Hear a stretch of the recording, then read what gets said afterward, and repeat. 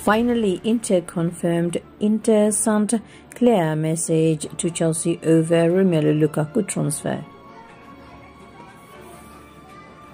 Inter have told Chelsea that Romelu Lukaku will not be sold this summer.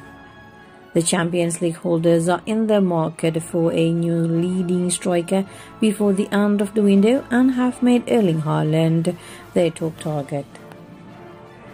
However, Borussia Dortmund are adamant that the Norway international will stay with them for at least another season. Chelsea are considering a move for Lukaku as an alternative to Haaland, with a deal for the Belgium international believed to be more achievable. But Inter's CEO Beppe Marotta has warned Chelsea against making an offer for their former striker. When asked if Inter can rule out Lukaku's departure, Marotta told Sport Mediaset, From outside, we can yes, absolutely Lukaku is not for sale.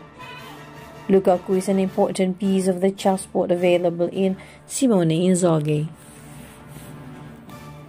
Earlier this summer, Inter needed to sell at least one key player in order to balance their finances and Achraf Hakimi was offloaded to Paris Saint-Germain in a 71 million euro or about a 60.7 million pound deal.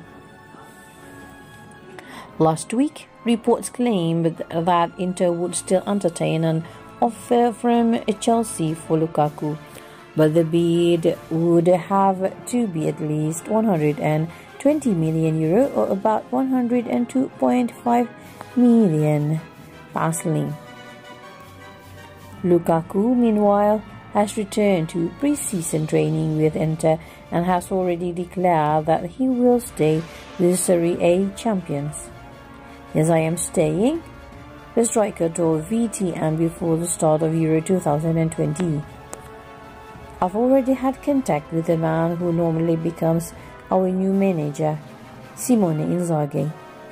Maybe I shouldn't say that yet, but it was a very positive conversation.